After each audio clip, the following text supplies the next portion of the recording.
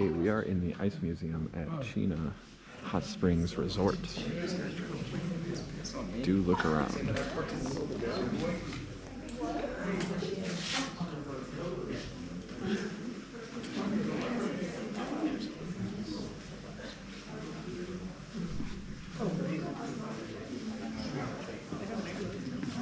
Oh.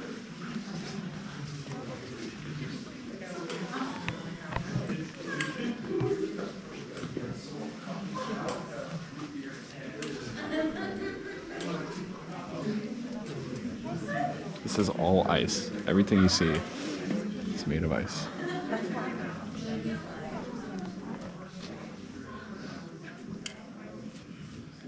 And so, Chena Hot Spring Resort uses geothermal energy for all their energy consumption. And we got a tour of the greenhouse and power plant uh, prior to this tour. And the tour guy said that the Ice Museum is one of the largest consumptions of power.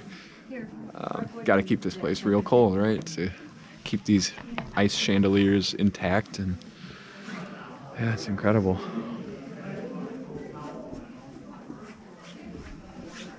All right, let's see what's in here. Oh my gosh. Oh my gosh. Yeah, I'm absolutely fascinated by the sustainability sustainability that they have going here. Okay. All right. Tour's beginning. So see you guys.